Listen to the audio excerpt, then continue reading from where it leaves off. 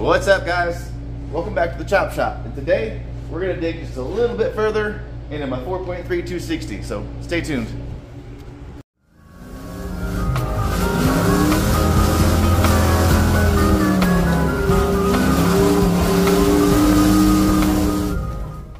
Okay guys, so like I said, I want to tear into this thing just a little bit further. If you watched the previous video, you know I've had the heads off of this thing, and we know that A, has some seized valves, B, has a broken valve.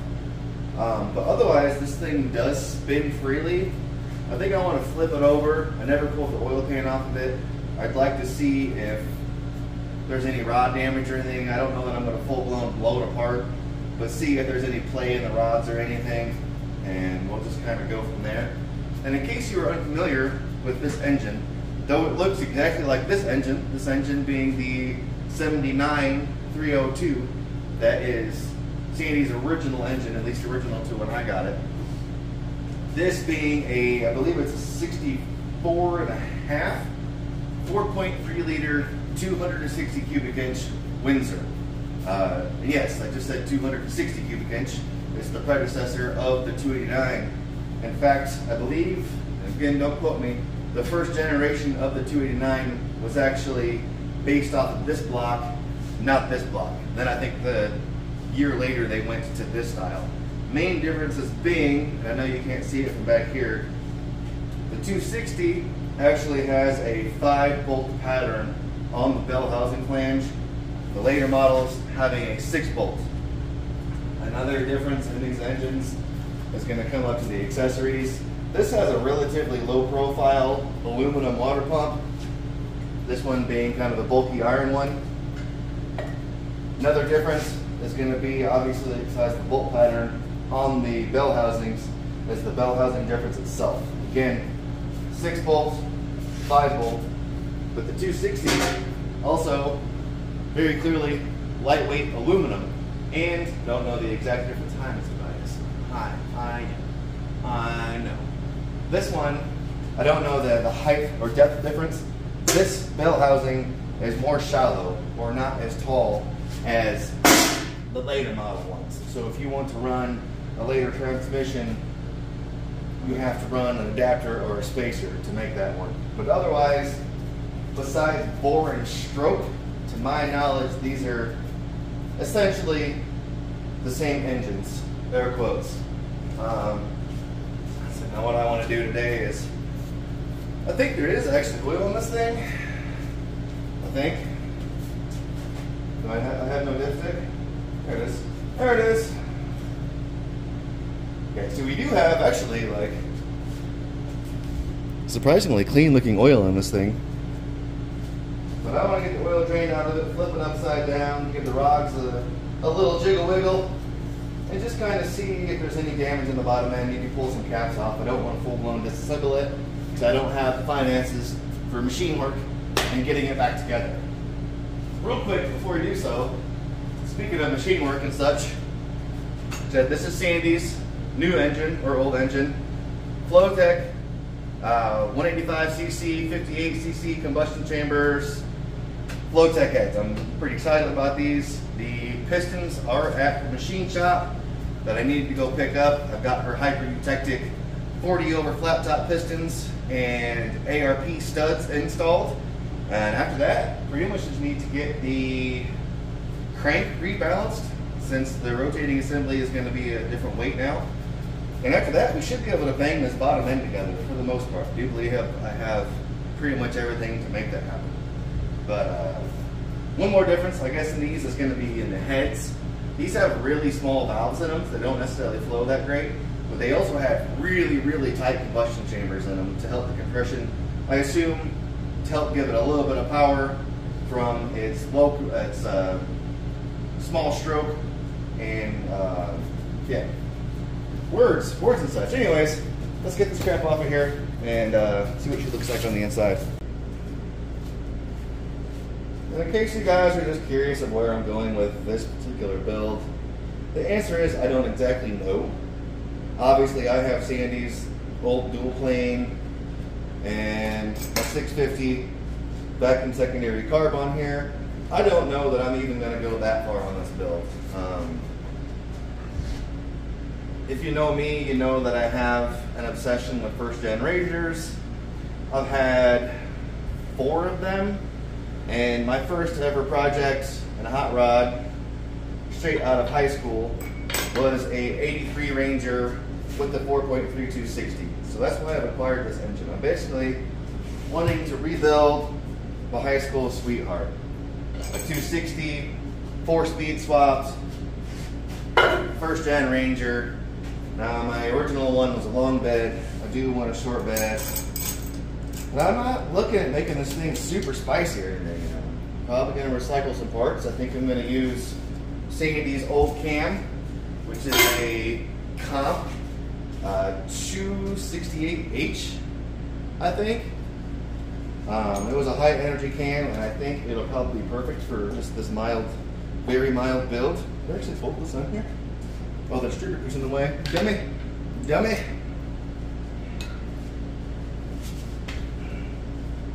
But let's get these parts out of here. That, that was just a nice place for me to put them so they weren't in the way. Alright, let's get these heads off here. Before I rolled this off in the corner that you forgotten about for a little bit, like I said, the, there's some valves stuck on this. I actually smacked a couple of them down with a hammer, sprayed them down with all kinds of lubricant, and they've yet to come back up. So this one's still down, this one's still down, this one, all of them on this side are still down. There's one on this side still down. So, I mean, I'm not being naive about it. You know, I have, I have hopes that maybe I can dingle ball this bottom end and throw it back together. I do not know. And I don't remember if there were any marks, which there kind of has to be because there is a broken valve on here. So a piston kissed a valve at some point in time. So I will put all kinds of stuff on here. I didn't need to put back on. There it goes. So now you can see, real quick, I don't know the CC of these combustion chambers, but they are quite small. So this engine, like I got a, a valve open right there, but these engines would have made some decent compression with how small the combustion chambers are. Um, my plans are actually to reuse these heads and maybe just deshroud the valves a little bit to get a little bit more flow. Maybe gasket match them.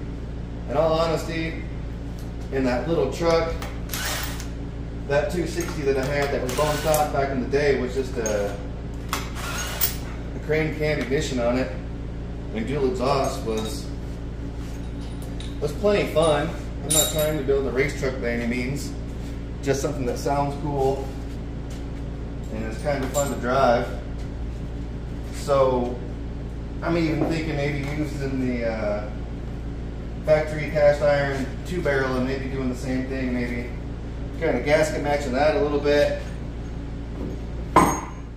Maybe running like a Holley 500 two barrel on it, decent ignition system, and that would probably be about it. See there's a valve just hanging out. I don't remember that. I wonder if that broke since that was sitting. Kind of looks like it did. Huh. And this thing, you know, when I had it apart, the previous guy had rubbed some grease around in there. Now I've got rust crud all up in there. But this thing does. Well, was. Spinning relatively free and I'm just Maybe not. Hmm. Well, get out of here. You're in the way. Alright, let's try this again. So like I said, this thing spins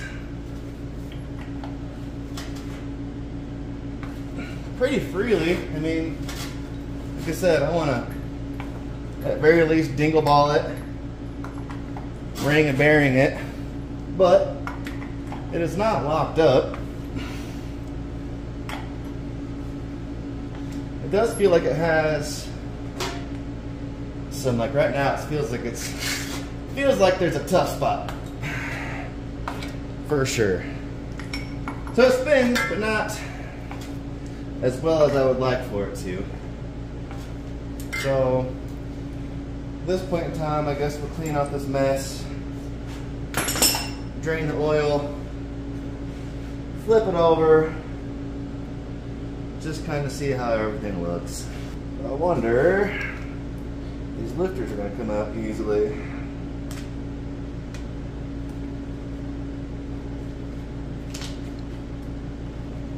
So far, so good.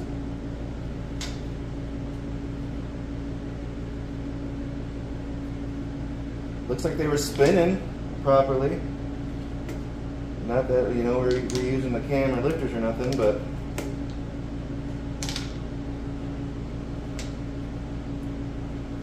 they still plunge. So the oil looked alright. There was just a little bit of water in it, which is to be expected. And to my knowledge, guys, basically, okay, so this thing came out of a Willys Jeep, actually. They had adapted it to the factory transmission and transfer case and such. Uh, set out in the field for a long time. I think guy basically put fresh oil in it and went to fire it up, in which case the valves were all locked up. Failure. So you can see valve kissed a piston there and right there that's all I'm seeing throughout here. Again, I had this thing pulled apart a while ago, but this is this is as far as we took it down. But um, so the oil is out of it. Let's flip it over and see if the rods wiggle and jiggle or not. But my surprise, it's actually still cool in here. Trying not to make a huge mess in the garage like I normally do.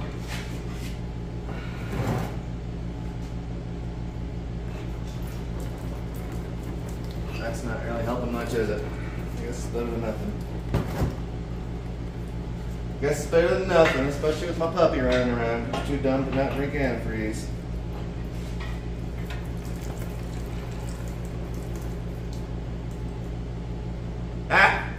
See? Point proven. Go piece. Yep, there goes the mess. Always Always with the mess making. Mess maker, mess maker, make me a mess. Alright, so now that we've made a freaking mess all over the garage, express, get this pan off. See what we're working with here.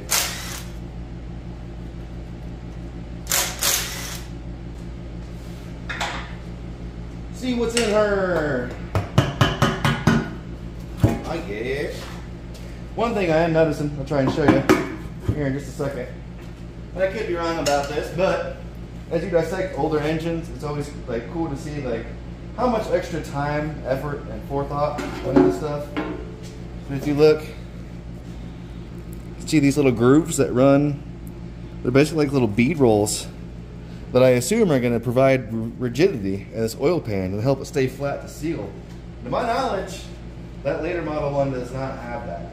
So they're a lot more like prone to warpage and leaking. So go old guys. Digging on in here. I mean, nothing looks horrible. And as far as front to back, these are gonna have a little front to back. It's, I mean, this way you're gonna have some wiggle. It's this way you don't want. And this one right here, I don't even know if you'll be able to catch it on camera. It does definitely move side to side. Everything else, mm, I think that's just side to side it's doing. Man, everything else seems pretty solid, but I'm willing to bet. Can you, can you even notice? She definitely, she's definitely got a little wiggle wiggle in her. Called it. That's our little wiggle worm right there. Definitely, definitely a nice little groove in there. Still, you know, I'm not going to consider that catastrophic by any means. I still think we have a nice solid candidate for a rebuild, but let's pull the other ones off real quick. Maybe get this oil pickup out of the way. And we'll just kind of see what uh, what the rest of it looks like. Again, without full assembly. I just, I don't want crap all over the garage right now. He said, as there's crap all over the garage.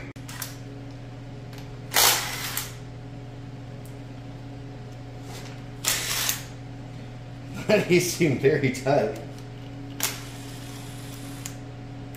Makes me wonder how far the guy previously dug into this before me.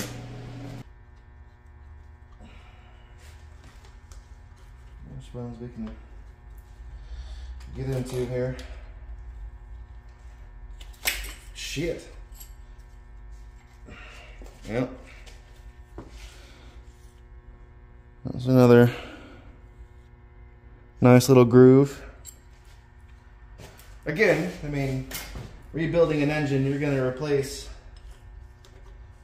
these anyways. Just, again, I'm just trying to get an assessment.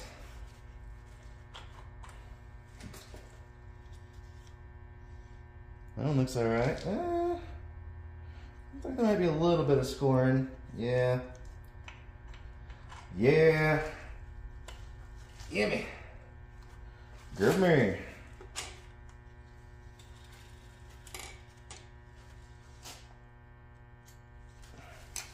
Give me this bearing.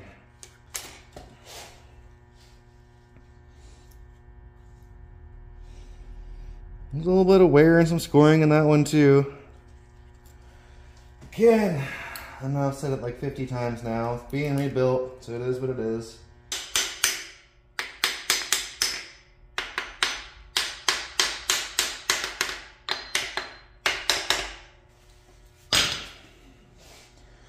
see what door number one has for us. Normalish wear. I mean, I have no idea how many miles is on this engine. You know, how long it was in a car before it ended up in the Willys. How long it sat outside. How it was driven. How it was maintained. And definitely, definitely some miles on it. Definitely.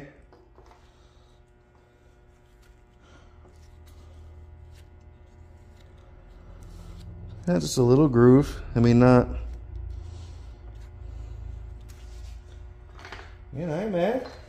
Mad. I don't even remember what I paid for this engine. It wasn't very much. Bearings are cheap. Oof. Oof. Well. Again, not a big deal for the 1050th time. We're replacing bearings anyways. We're rebuilding this engine. So bearings ain't shit. You know, so worst case scenario, this thing goes 10 over, 10 under. We bang it back together. Another cool oddball difference I legit just noticed in this engine.